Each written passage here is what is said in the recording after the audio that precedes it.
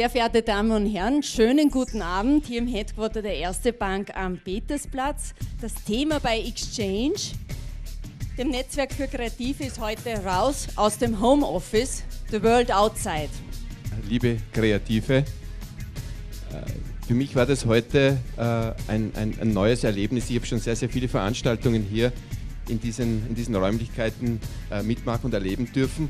Heute war es anders. Heute war es wirklich kreativer als sonst. Die Kameras, der Livestream, die Frau Dr. Leimüller, die mir sofort äh, kreative Ansätze für Banken mitgegeben hat. Ähm, in der Kreativwirtschaft ist vieles äh, eine Frage des Vertrauens. Die Kreativität braucht sie als Grundlage. Ohne Vertrauen kann man nicht kreativ sein. Und wir wissen, dass der Titel dieser Veranstaltung durchaus eine Provokation ist. Ähm, letztlich geht es um zwei sehr sensible Dinge. Das eine ist, wie organisiere ich mein Geschäft, wie mache ich, welche Unternehmensorganisation habe ich. Und die zweite Frage, noch viel persönlicher, ist, wie ist mein Arbeitsstil. Aber heute kommen wir in den Genuss, auch in einer kurzen Keynote, Gedanken kennenzulernen, die auch kleinen Unternehmen sehr helfen können, die Sache was bin ich, wer, wo will ich hin, strategisch anzugehen. Sonja Radatz, bitte um Ihren Vortrag. Dankeschön.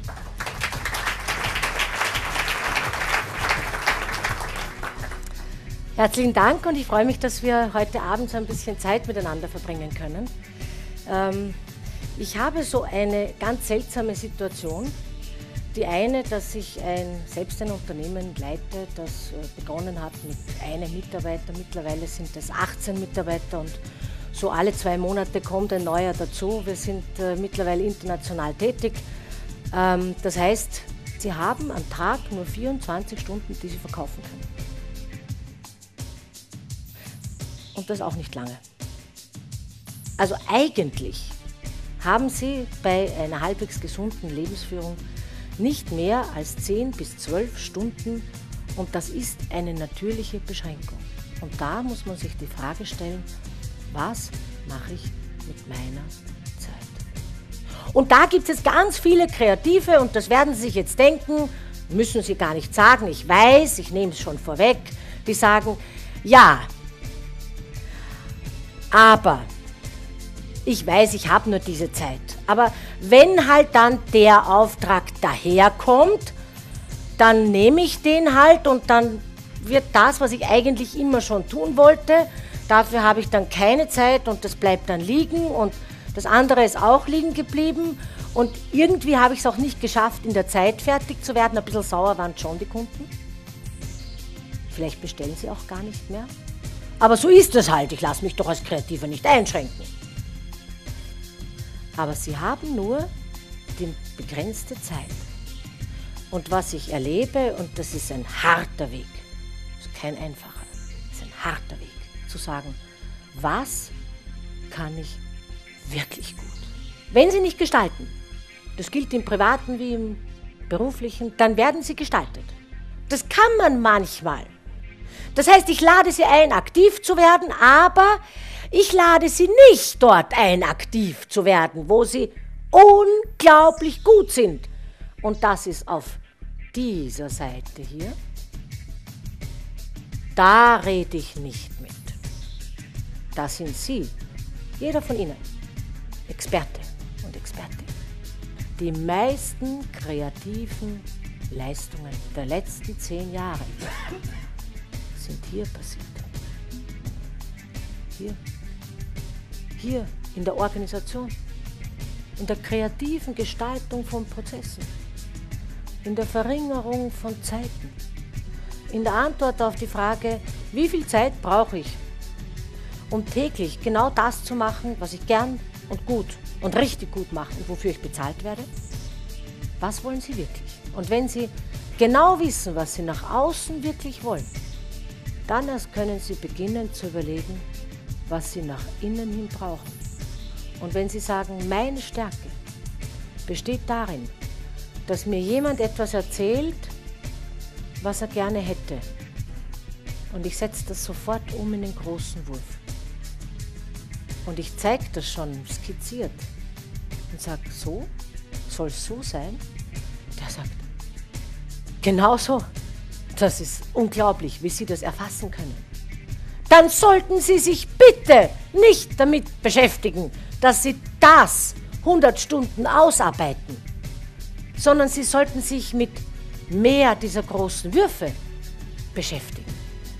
Und wenn Sie das tun, ja, wenn Sie genau das tun, was Sie immer schon tun wollen, woran könnte es Ihnen im Moment intern fehlen oder mangeln?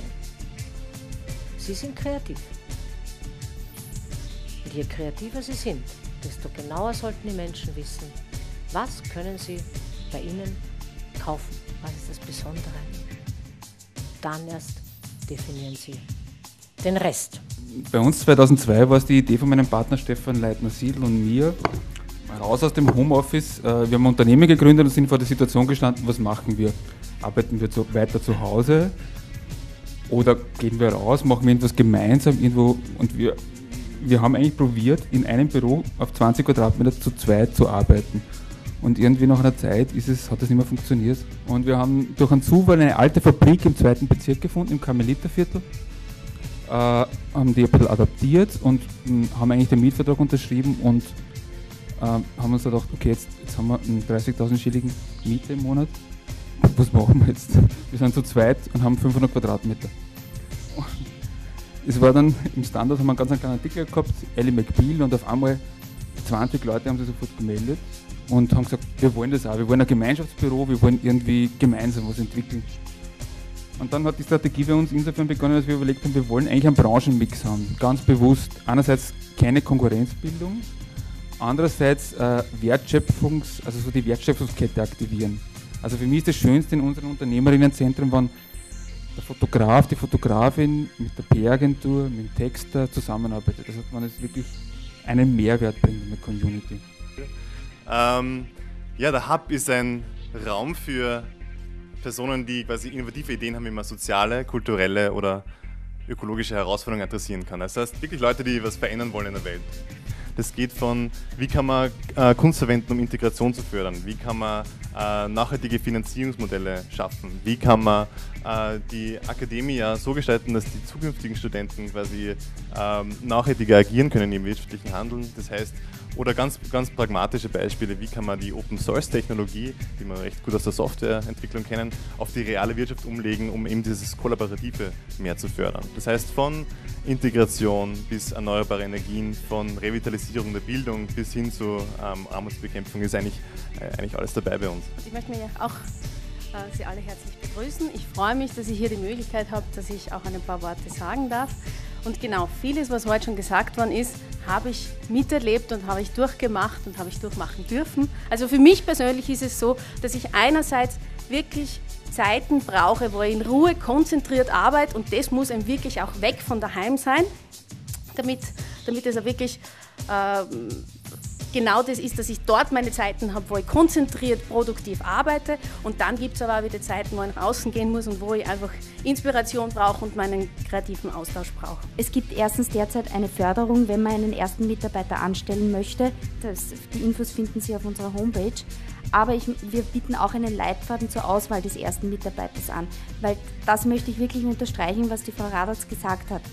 Wenn Sie sich dafür entscheiden, jemanden mit ins Unternehmen zu holen, besonders als Angestellten, dann ist es ganz, ganz wichtig, dass Sie sich den sorgfältig aussuchen und dass die Person Sie genau dort entlastet, wo, es, wo Sie sich erwarten, weil sonst wird es wirklich eine mehr, ein Mehr an Arbeit und dann macht es für Sie keinen Sinn. Da gibt es wirklich sehr viele Angebote, auch von der Wirtschaftskammer, die ich Sie einlade, einfach kostenlos auch zu nützen.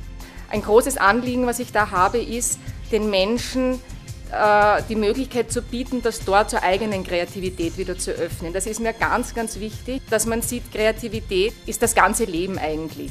Ich möchte mich sehr herzlich bedanken für die Kooperation der Erste Bank mit der Erste Bank. Auch die Erste Bank braucht Partner und wir auch. Ja. Äh, die ist schon viele Jahre sehr fruchtbar und es ist schön, dass wir immer gemeinsam Themen umsetzen können. Und auch zum Schluss noch sagen, diese Veranstaltung ist Part of Evolve, eines Förderprogramms des Wirtschaftsministeriums für die Kreativwirtschaft.